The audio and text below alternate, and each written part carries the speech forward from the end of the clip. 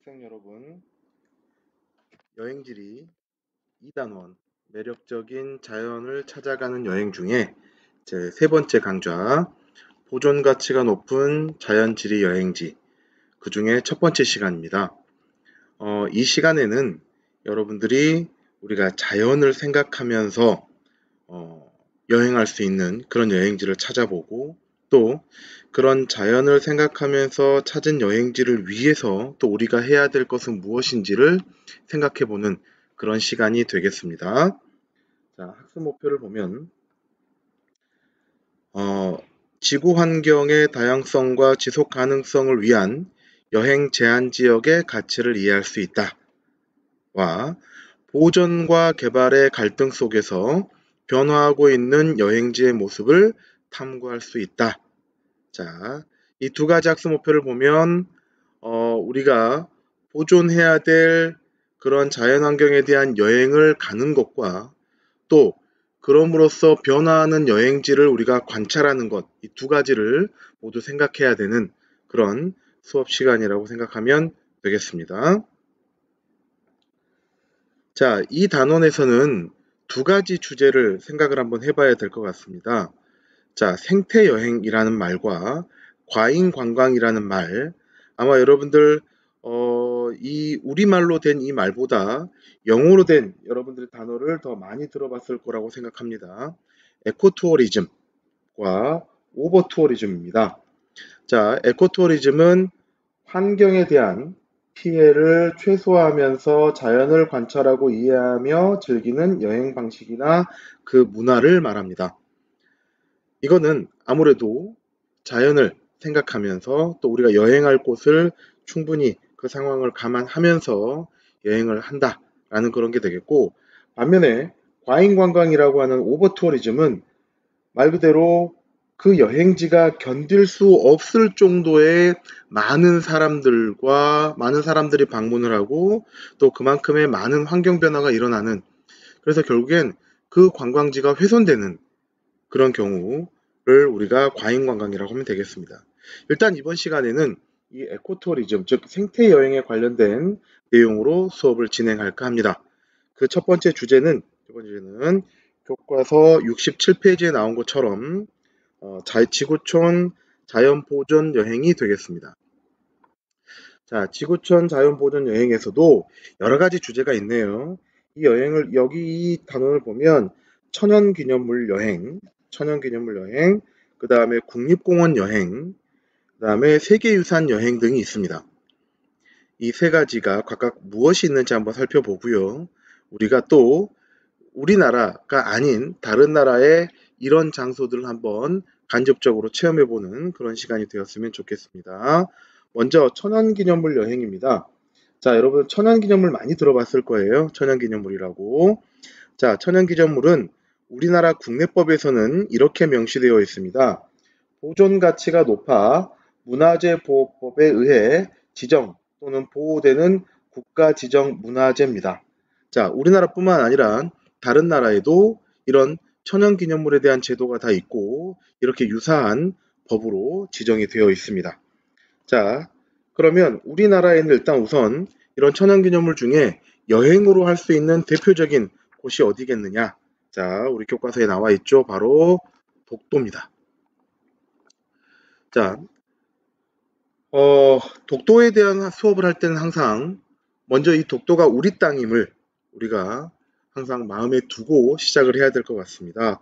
자, 독도는 독도는 독도 근처에 우리의 땅인 울릉도에서 이렇게 맑은 날 육안으로 식별이 되는 그런 섬입니다.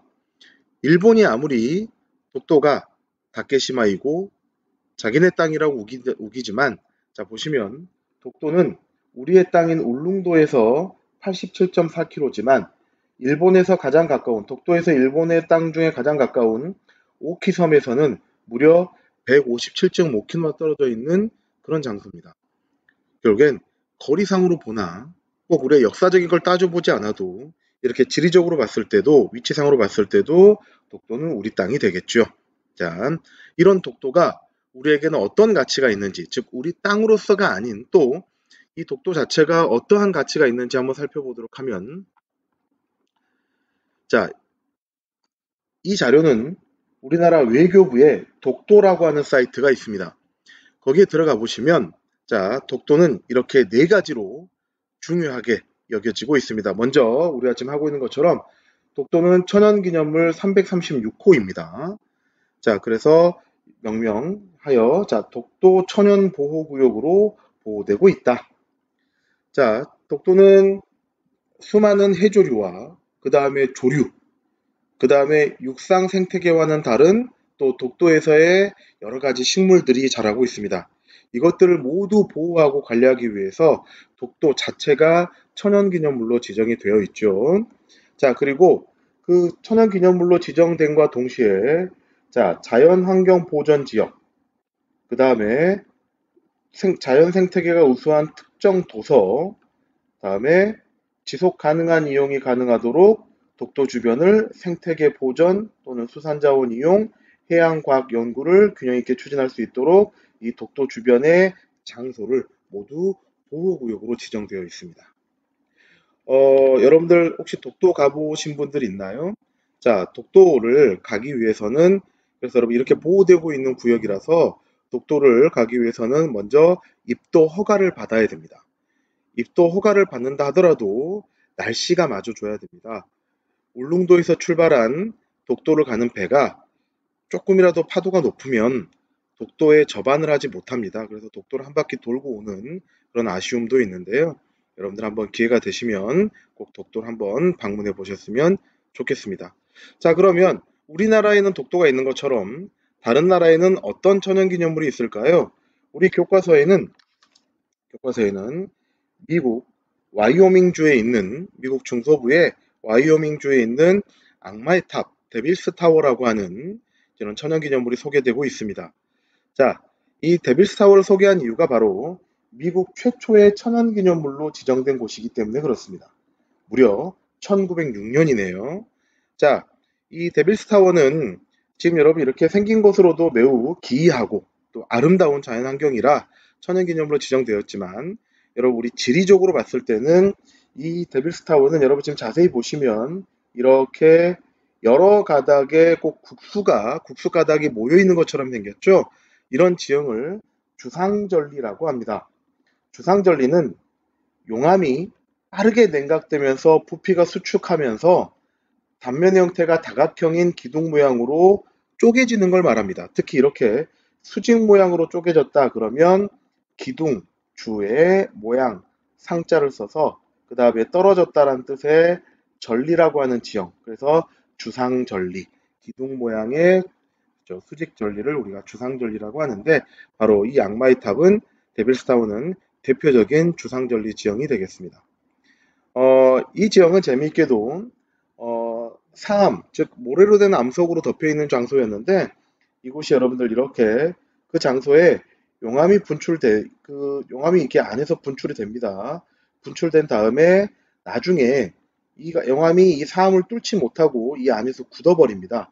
이 굳은 상태에서 나중에 이 사암이 모두 침식이 되고 남은 암석이 바로 이 데빌스 타워가 되겠습니다. 자, 지형적으로는 이렇게 형성되기도 합니다. 여러분들 이런 기이한 모습의 땅도 있다는 거. 이것도 여러분들 여기를 이렇게 여행을 해서 주변을 이렇게 한 바퀴 돌아보면 정말 아름답겠죠?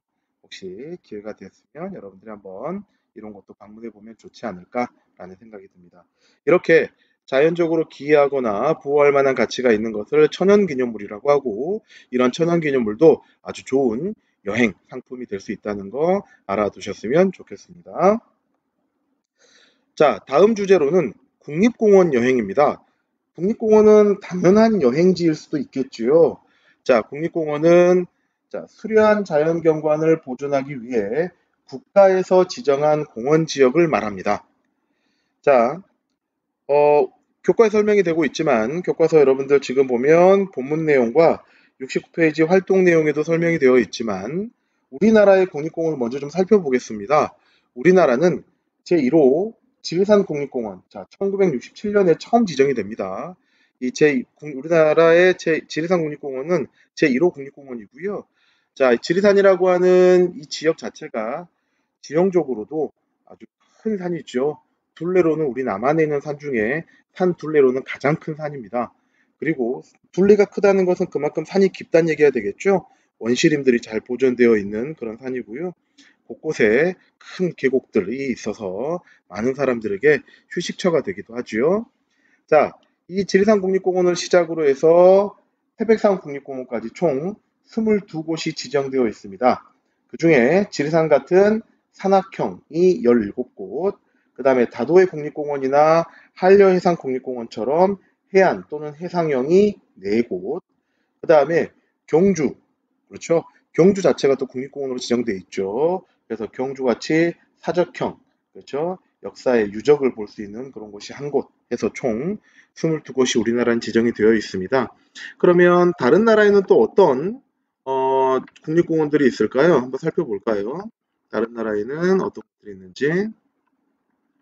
자, 미국을 먼저 또 가보겠습니다. 아까 여러분들 그 데빌스타워가 있던 근처, 저기로 거기도 역시 와이오밍 주인데요. 엘로스톤 국립공원입니다.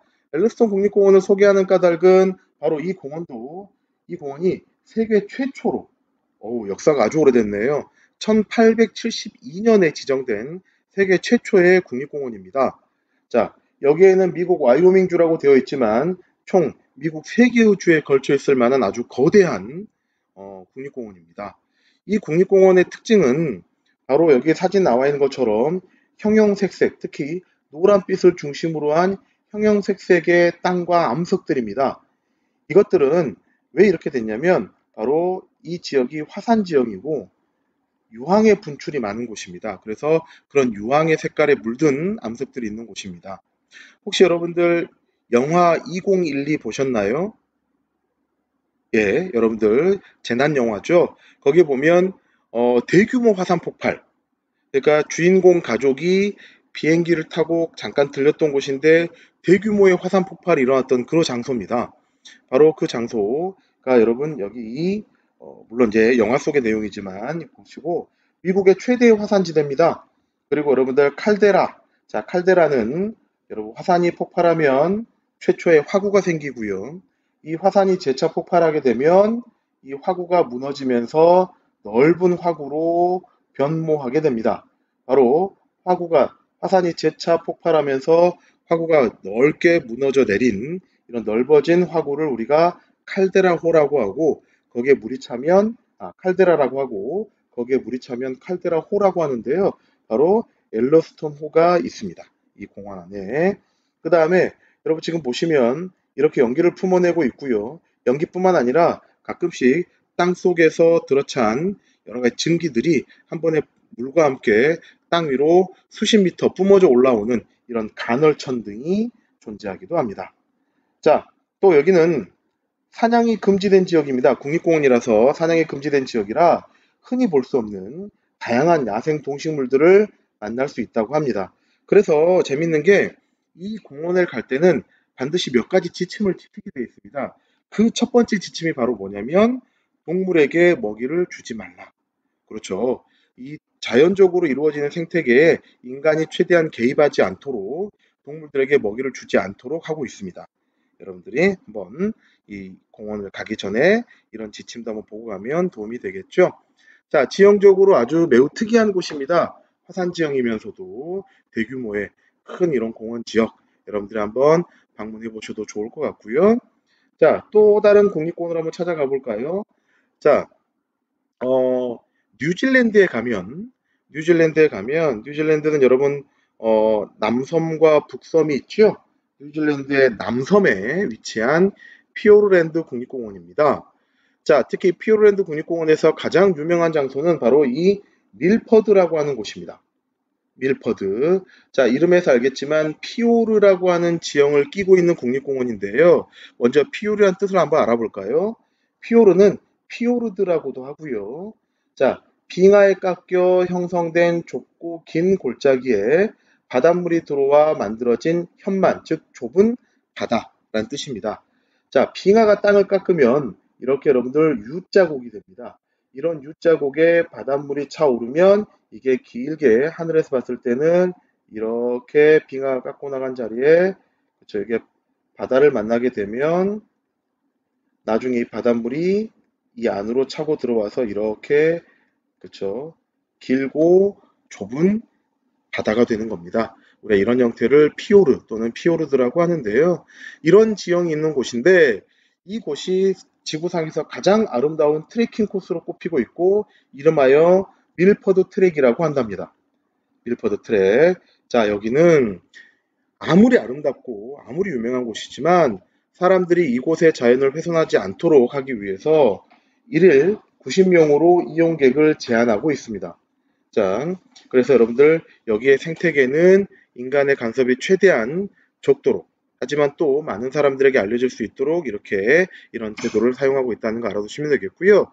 자, 혹시라도 이 밀퍼드 트랙을 걷기가 좀 그렇고 그런 인원에 제한이 됐을 경우 다른 여행으로도 할 수 있습니다. 바로 여기 이 아까 피오르를 크루즈선을 타고 여행하는 겁니다. 아무래도 트레킹과는 또 다른 느낌을 주는 그런 여행이 되겠죠. 자, 이 밀퍼드 트랙도 있다는 거 여러분 알아두시면 되겠습니다. 이렇게 어, 전 세계 많은 국립공원이 있겠지만 우리 교과서에는 이런 국립공원들이 소개되고 있습니다.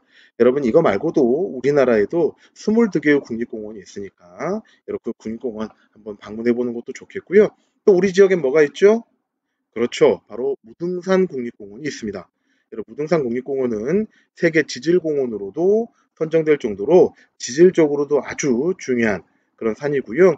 그 다음에 또 등산로에 휴식연재를 주면서 그렇죠. 우리가 흔히 볼 수 없는 또 생태계가 만들어져 있는 산이기도 합니다. 항상 우리가 이런 곳을 방문할 때는 뭘 생각해야 될까요? 그렇죠. 항상 자연환경.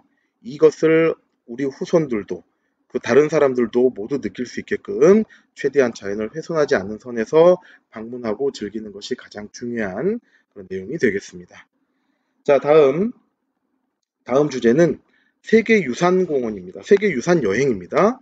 자, 세계 유산 여행인데 세계 유산 많이 들어봤죠? 자, 세계 유산이라고 하는 것은 국제연합, 즉 유엔 산하에 유네스코라고 하는 게 있습니다. 유네스코라는 기구가 있고 이 기구에서는 인류 보편적 가치 및 공동으로 보존할 만한 가치를 지닌 자연이나 무산, 문화에다가 그런 자연유산과 문화유산의 지위를 주는 겁니다. 그리고 그것들을 그렇죠 보존하고 유지하는데 경제적으로도 역시 행정적으로 도움을 주는 그런 제도를 세계유산이라고 하고요.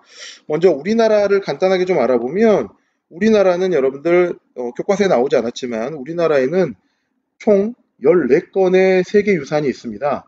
자, 아쉽게도 아직까지는 자연유산은 한 건이고요. 바로 제주 화산섬과 용암동굴. 자, 여러분 제주 화산섬과 용암동굴인데 바로 한라산 중심부, 그 다음에 성산 일출봉, 그 다음에 제주도 북부의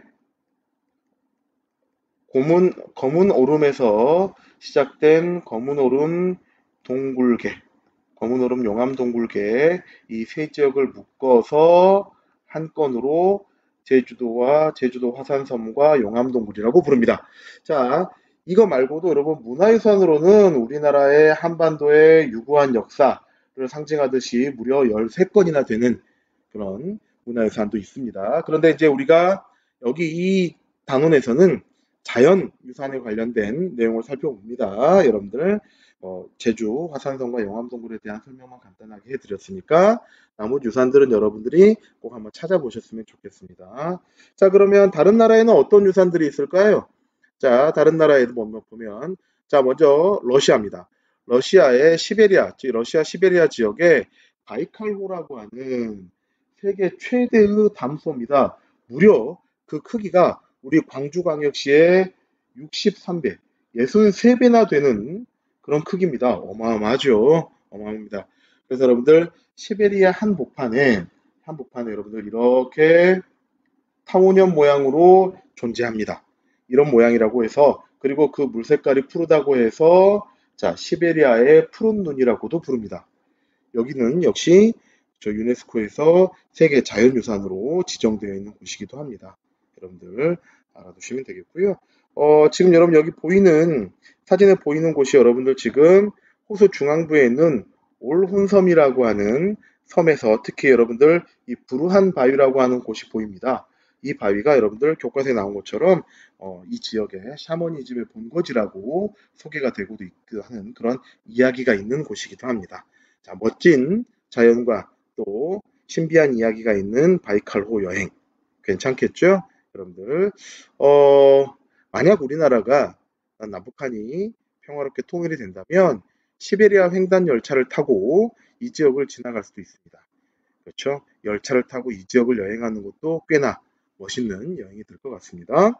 자, 다음으로는 다음으로는 자, 여러분 오스트레일리아 즉 호주입니다.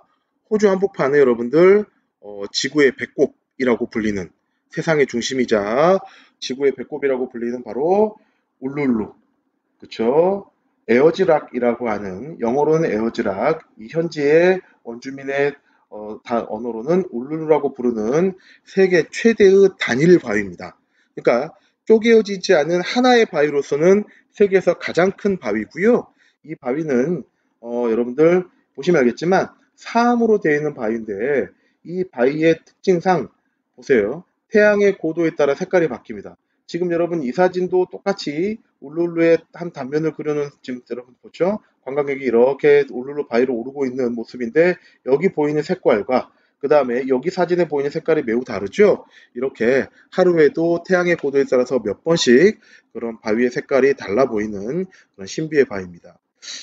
자, 어, 매우 큰 바위입니다. 여기는 특히 여러분들 자연유산뿐만 아니라 이 지역의 원주민의 유구한 역사가 담겨져 있는 곳이라 문화유산으로까지, 즉 자연유산과 문화유산으로 모두 설명이 되는 즉 복합유산으로 지정된 곳이고요.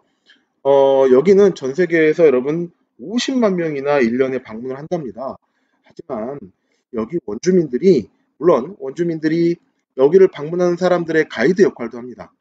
하지만 여기 원주민들에게는 여기가 조상들의 혼이 모이는 그런 매우 성스러운 장소로 꼽히는 곳이라서 이 관광객들에게 무작정 개방하는 것이 이 원주민들의 또 문화와는 충돌이 되는 그런 부분이기도 합니다. 자, 이런 곳이 있다는 것도 여러분들이 알아두시면 되겠습니다. 자, 이렇게 우리가 어, 지금 여러분 보면 천연기념물 여행, 그 다음에 또 우리가 어, 국립공원 여행, 그 다음에 세계유산 여행을 한번 살펴봤고요. 이 밖에도 우리가 자연지역, 우리 지구상에 있는 어떤 자연의 어떤 어, 특이한 부분을 여행할 수 있는 부분이 어디 있을까 해서 교과서에 나온 게 바로 남극 여행입니다. 오, 여러분들 남극으로 여행 갈 수 있다는 이야기 좀 생소하시죠? 하지만 어, 벌써 오래전부터 남극으로 여행이 진행되고 있고요.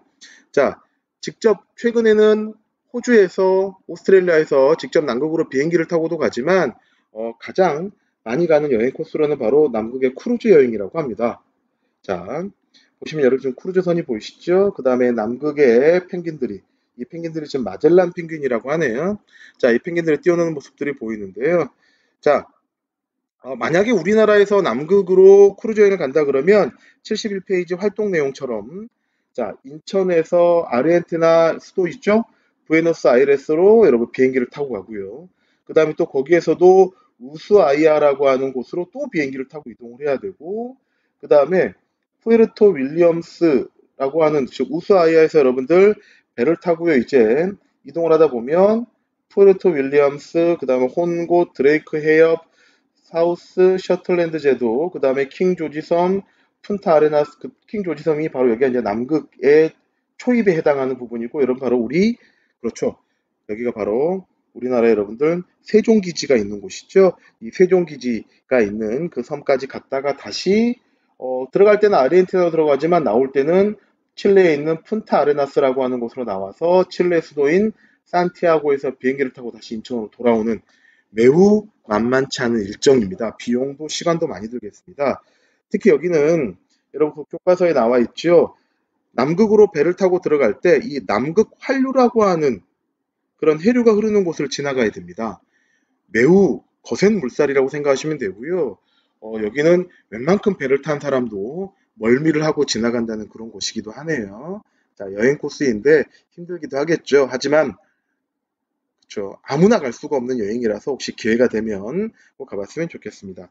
자, 우리 활동 내용에 보시면 이런 활동 내용에 보시면 자, 어, 지금 남극 크루즈 일정에서 조사 내용, 주요 조사 내용에 부에노스 아이레스라는 곳은 어떤 곳인가 나와 있고 여러분 그 다음에 각 우리가 방문하는 곳들이 어떤 곳인가를 물어보는 그런 질문들이 있습니다. 여러분 이런 질문들 나와 있는 부에노스 아이레스, 그 다음에 우수아이아, 비글 해협, 혼곶, 그 다음에 드레이크 해협, 사우스 셰틀랜드 제도, 킹 조지 섬, 푼타 아레나스, 산티아고까지 이런 다양한 여러분 지명들을 꼭 한번 찾아보시고 그 옆에 간단하게 단어를 그 답을 달아보면 이 여행이 훨씬 더 알찬 여행이 되겠죠.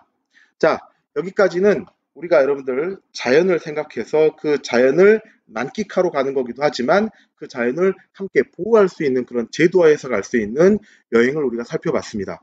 자 다음 시간에는 다음 시간에는 이 어, 여행의 두 번째, 여행의 여러분 이 보존 가치가 높은 자연지리 여행의 두 번째 시간, 어, 오버 투어리즘, 즉 과잉 관광에 대한 그런 내용을 주제로 수업을 하도록 하겠습니다. 자, 이번 시간 매우 여러분 수고 많으셨습니다. 감사합니다.